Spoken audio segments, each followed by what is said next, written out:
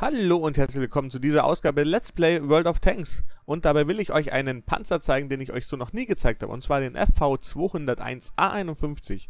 Ein 7, Tier 7 Premium Panzer, in dem Fall schwerer Panzer, der Briten. Diesen gibt's, oder gab es erst vor ganz kurzem. Und auf meinem Kanal hat er bisher noch nicht einmal Einzug gehalten. Also umso schöner, dass er jetzt den Weg zu uns gefunden hat. Hier vom Matchmaking her sieht man ganz gut, er ist hier mit Tier 8 gematcht, allerdings auch 7 und 6, also von dem her für alles was dabei. Ja, und dann gucken wir uns doch mal die Kanonen-Stats soweit auch an, soweit das hier möglich ist. Schaden 150, also für einen schweren Panzer an sich sehr wenig, allerdings hat er einen sehr schnellen Reload. Durchschlag ist 171 und mit Premium, Panzer, äh, Premium Munition dann 239. Hat noch ein paar HE-Granaten auch noch dabei. Ja, sind wir mal sehr gespannt, wie er sich hier so schlägt. Er selber fährt hier ganz alleine nur mit dem AMX hier auf die Seite. Das ist natürlich, ja, ich würde mal sagen, mutig. Shock Scott, um den Namen auch nochmal zu nennen. Oder Shock Scoit. So, da vorne hat er schon einiges. Ein T37, ein WZ, die Hellcat. Also da wird ihm jetzt gleich nicht langweilig werden. Da schaut der WZ. Durchschlägt ihn auch direkt. Und die Hellcat kommt da auch. Also schneller Reload. Trifft hier sehr gut. Das muss man ihm lassen. Dass der WZ ihm nur auf die Kette geschossen hat, ist natürlich ein bisschen glücklich an dieser Stelle.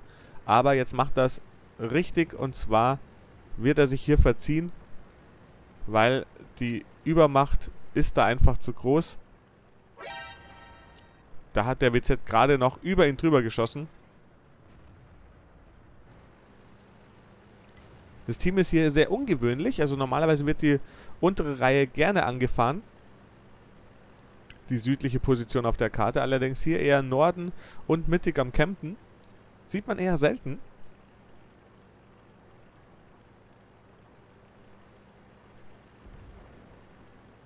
3 zu 5 steht es daher auch schon für den Gegner. Jetzt kommt der WZ rum. Jetzt positioniert er sich so, dass er hier verteidigen kann. Der WZ bleibt jetzt stehen. Aber da kommt auch noch ein Super Pershing und die Hellcat nach. Jetzt hat er geschossen, allerdings ihn nicht ankratzen können, beziehungsweise nicht durchschlagen können. Ein Jagdtiger steht da auch noch, also da ist jetzt einiges gleich an Arbeit für ihn. So, jetzt hat er hier schön gewartet, bis er Super Pershing hier rausgekommen ist. Jetzt würde er ihn wohl gern ketten. Aber Schaden machen ist auch schon mal ganz gut. Er hält jetzt hier immer schön in die Kette rein, weil er steht einfach so, dass er da gut durchkommt. Er selbst hat sich gut positioniert. Jetzt ist die Kette ab. Super Pershing hat hier riesige Probleme kommt hier nicht durch.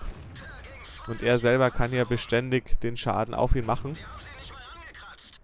Mit Premium sollte der jetzt weg sein. Sehr gut. Wo hat denn der Super Pershing überhaupt hingeschossen? Dass er ihn so gar nicht durchschlagen hat.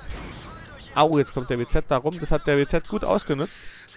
Diese Zeit der Ablenkung auf den Super Pershing. Hier drüben, der muss aufpassen, dass er nicht zu weit rausfahrt.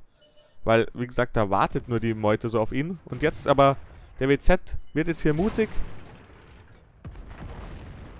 Und wird rausgenommen vom Walker Bulldog samt Munitionslager. Sehr schön. Hier den Kill. Und jetzt geht's weiter mit dem Jagdtiger, beziehungsweise mit dem T29. Jagdtiger kommt hier natürlich durch, weil so hart ist er dann doch nicht gepanzert. Auch wenn es anders wirkt hier im Replay, aber die Panzerung ist gut durchschlagbar normalerweise. Der Jagdtiger macht es gerade auch ordentlich vor.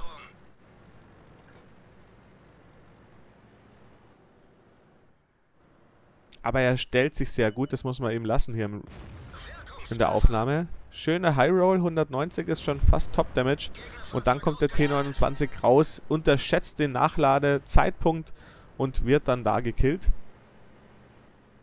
Aktuell 2600 Schaden, ganz beachtlich. Und jetzt geht er auf den Tiger P.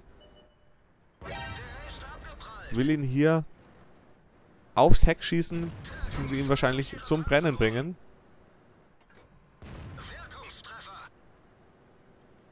Tiger P ist hier ein bisschen, ja, sehr zurückhaltend. Will hier nur wegfahren, hat hier sehr starke Angst vor dem FV.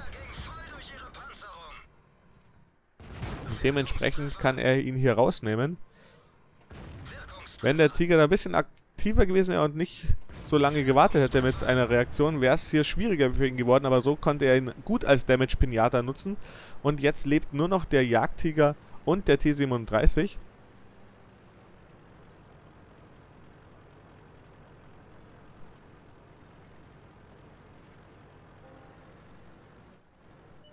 Da ist der Jagdtiger wieder mal.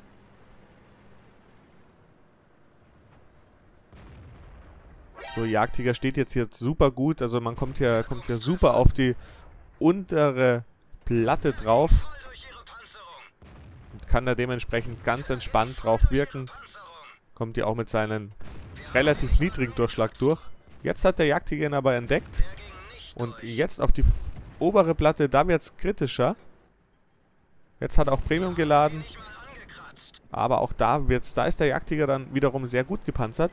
Hinten lebt nur noch der T37, hat jetzt 4269 Schaden schon angestellt. Ist die Frage, kriegt er vom T37 noch was ab oder bleibt es bei den zwei Kills? Verhältnismäßig wenig eigentlich für die ausgeteilten Schaden. Und da ist das Spiel rum. 15 zu 9 ist es ausgegangen. 4270 Schaden aufgerundet. Sehr beachtlich. Hat dabei 960 Schaden abgewehrt mit diesem Gerät. Ja, was das, soll das Resümee sein? Also ich persönlich finde ihn sehr spannend. Allerdings vielleicht nicht unbedingt der stärkste Tier 7 Premium Panzer. Da gibt es dann meines Erachtens mit der ES2 schon schöne Alternativen. Trotzdem hoffe ich, dass es euch einen kleinen Einblick gegeben hat und wünsche euch weiterhin viel Spaß bei World of Tanks. Euer Alcaramba.